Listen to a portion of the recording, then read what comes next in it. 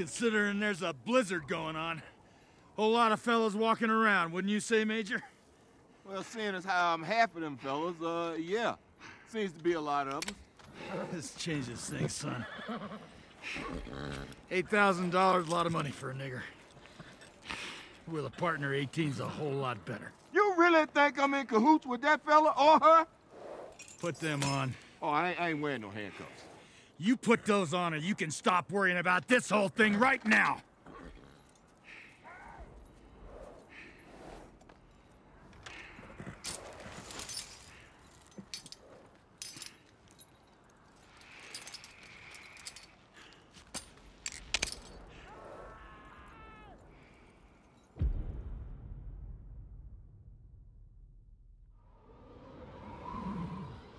And your weapons to the driver. Little jumpy, ain't you? Never mind the jokes, just do it. You say so. I do.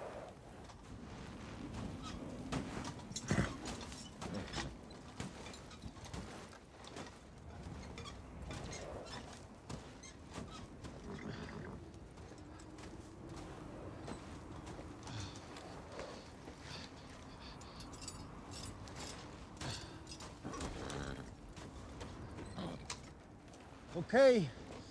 I done done it. OB, you got him? I got him. Okay, fella.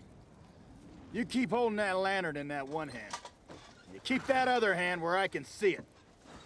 Walk over there where I can get a good look at you.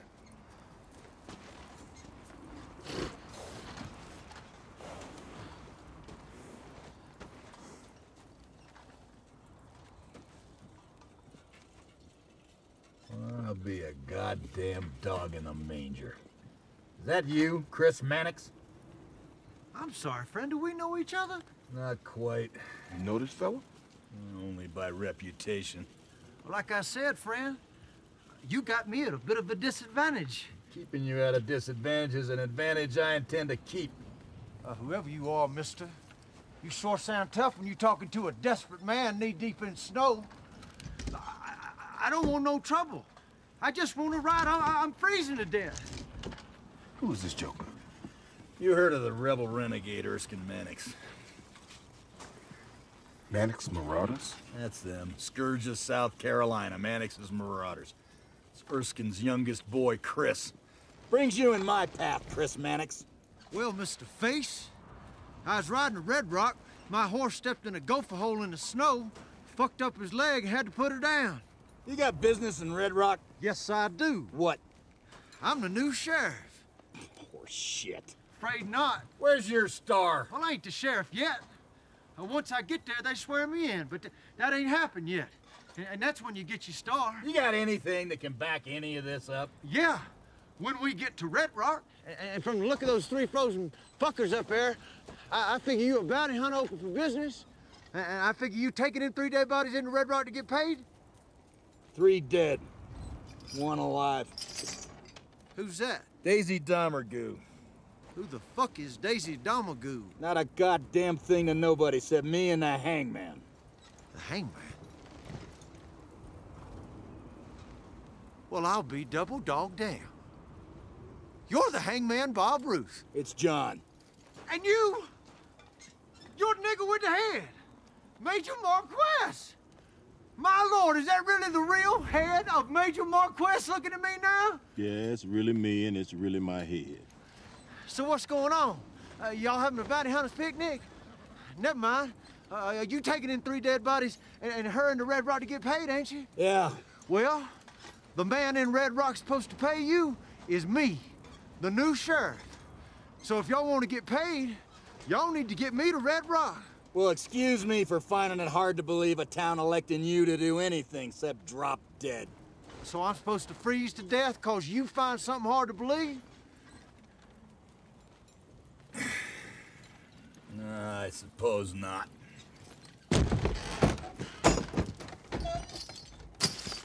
Put them on and come inside.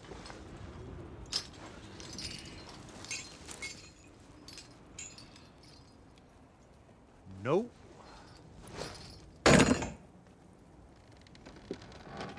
Then you'll freeze. Then you'll hang. How so? Stagecoach driver, could you come down here and join us? I gotta hold these horses. I can hear you just fine from up here. You just heard me tell this fella I'm the new sheriff of Red Rock, right? Yeah. Red Rock is my town now. And I'm gonna enter my town in bounty hunter's chains. No, sir. Sorry, bushwhackers. I ain't entering Red Rock that way. Now, when you finally get to Red Rock, you're gonna realize every goddamn thing I said was right. And I expect you, O.B., to tell the townsfolk of Red Rock that John Ruth let that new sheriff freeze to death. Ain't no bounty on my head, bushwhacker. You let me die, that's murder.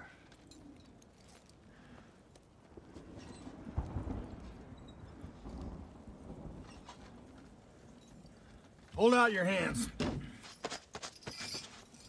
OB, give the major back his iron. One thing I know for sure, this nigger-hating son of a gun ain't partnered up with you. Now, I'll help you protect your 8,000. You help me protect my 10. Deal? Well, ain't love grand? Y'all on lounge ground makes no angels together?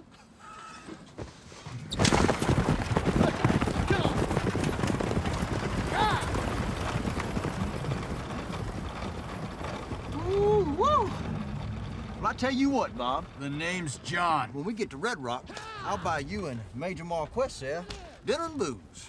My way of saying thanks. I don't drink with rebel renegades, and I damn sure don't break bread with them. Well, Mr. Ruth, you sound like you got an axe to grind against the cause. God, renegade army. Bunch of losers gone loco, you bet. Wrapped yourselves up in a rebel flag as an excuse to kill and steal. This ought to interest you, Warren, in particular emancipated blacks. Sounds like my kind of fella. Sound to me you've been reading a lot of newspapers printed in Washington, D.C. Anywho, I'm just trying to let y'all know how grateful I am. I was a goner, and y'all saved me. You want to show me how grateful you are? Shut up. God damn it, Daisy. It's coming. Here. Last piece.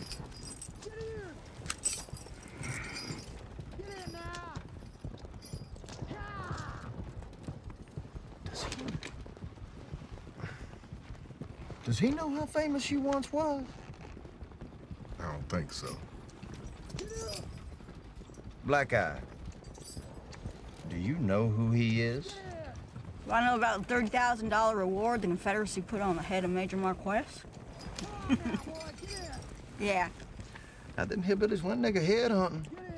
They just never did get him the right nigga head, did they? No, they didn't. But it wasn't for lack of trying. Them Peckerwoods left their homes and families and come up this snowy mountain looking for me and Fortune. Ain't none of them found Fortune. The ones you ain't never heard of no more, they found me. I did stay 30,000 late for the war. Once passion's cool, it dropped down to eight, then five. But I bet even when it was 5,000, you had your share of country boys coming to call. You know I did. Why'd they have a reward on you? Confederates took exception to my capacity for killing them. and after I broke out of Wellenbeck, well, the South took my continued existence as a personal affront. The cause? Put a reward on my head.